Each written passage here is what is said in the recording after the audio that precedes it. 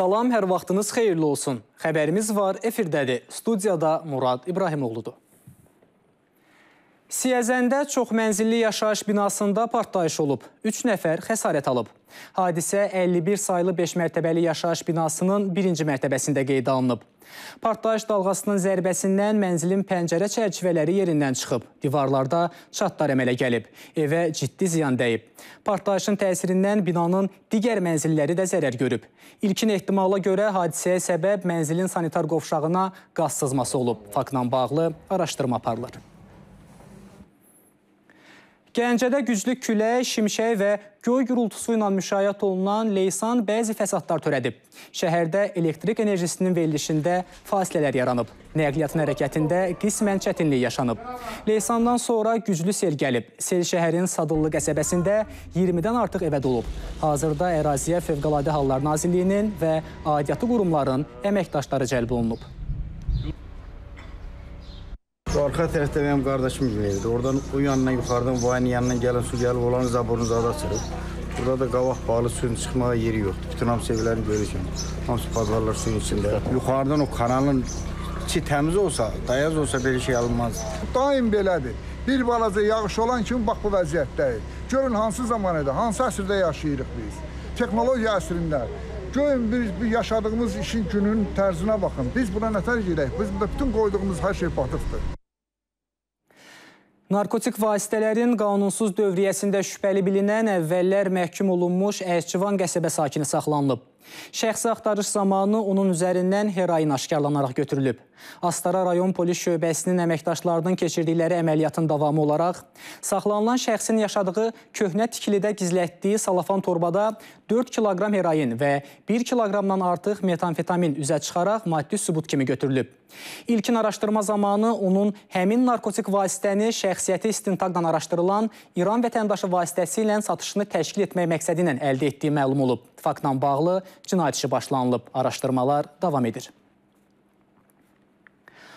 Oğuzda ölümlə nəticələnən yol nəqliyyat hadisəsi baş verib. İki minik avtomobilinin toqquşması nəticəsində bir nəfər ölüb, beş nəfər isə müxtəlif dərəcəli bədən xəsarətləri ilə rayon mərkəzi xəstəxanasına yerləşdirilib. Onlardan üçü bir ailənin üzvüdür. Qəzaya səbəb ötmə zamanı minik avtomobillərindən birinin digərinin qarşısına keçməsi olub. Hadisənin təfərrüatları araşdırılır. Sumqayıtda Azərbaycan Yerüstü Nəqliyyat Agentliyi və Sumqayıt şəhər polis idarəsinin Dövlət Yol Polisi şöbəsinin əməkdaşları qanunsuz, qanunsuz sərnişin daşıma fəaliyyətinin qarşısını almaq məqsədi ilə reyd keçirib. Reyd şəhərin bir sıra küçə və prospektlərini, eyni zamanda avtovağzalın ətrafını əhatə edib. Keçirilən reyd nəticəsində yol kənarındakı sərnişin avtobusları yığışdırılaraq avtovağzalın daxilinə köçürülüb. Bu isə bəzi sürücülərin narazılığına səbəb olub. Dediklərinə görə yolun uzanması və sərnişinlərin yeni ünvanı bilməməsi onların işinə mənfi təsir edir. Hal-hazırda orada biz e, klientlər barədə çətinlik çəkirik. Orada gələn maşını taksilər götürür, aparır klientləri. Bizə göstəriş verir ki, girin avtovazanın içinə yığın. Biz də avtovazanın içinə yığırıq. Nələlikdə klientin göz uzu qabağındadır. Çox zəifsiniz. Saat 9-dan buradayam. Saat 1-dir, yəni hələ burada gedəməmişim. Əvvəl necə? Əvvəl indi ben Bakıdan qayıdırdım. Azər Şamxalovdan fərqli olaraq bu tədbirləri dəstəkləyən sürücülər də az deyil. Onların sözlərinə görə dəyişiklik həm təhlükəsizlik, həm də sıxlıq baxımından bir çox problemlərə son qoyub. Fərqi bir var ki, orada təhlükəli idi, yol qırağı idi. Hər an təhlükə gözləyir. Gəlmişik bura rahatdır. Şey insanlar da bəziləri öyrənməyib, öyrənəcək, yavaş-yavaş gəlir bura. Bizim də işimiz rahatdır, onlar üçün də təhlükəsizdir. Sərnişinlərə gəlincə, Oradan bura iki addım yeririk də. Sadəcə avtovazanın içinə keçirik, başqa bir fərqi yoxdur. qeyd edək ki, qanunsuz sərnişin daşıma fəaliyyətinin qarşısını almaq üçün keçirilən reyd Sülh prospekti, Bakı küçəsi və şəhər avtovağzalının ətrafında baş tutub. Əhaliyə göstərilən nəqliyyat xidmətlərinin yaxşılaşdırılması və qeyri-qanuni sərnişin daşıma hallarının qarşısının alınması məqsədi ilə bu dəfə Sumqayıt şəhərində reydlər keçirilib. Qanunsuz sərnişin daşımanı həyata keçirən nəqliyyat vasitələri bu ərazilərdən yığışdırılıb və Bakı istiqamətində sərnişin daşıma fəaliyyəti Sumqayıt avtovağzalından təmin edilib. Son bir ay ərzində həyata keçirilən tədbirlərlə gündəlik 2500 nəfərə yaxın sərnişinin Bakı şəhəri istiqamətində daşınması təmin edilib. Bu gün Azərbaycanda ümumi təhsil müəssisələrində son zəng çalınıb. 2022-2023-cü tədris ilində 98647 nəfər şagird 11-ci siniflərdən məzun olub. Son zəng tədbirində şagirdlər, valideyn və müəllimlər iştirak edib, məktəblə bağlı xatirələrini bölüşüblər. Sonuncu zəngi çalınan məzunlar isə hazırladıkları rəqsləri və mahnıları ifa ediblər.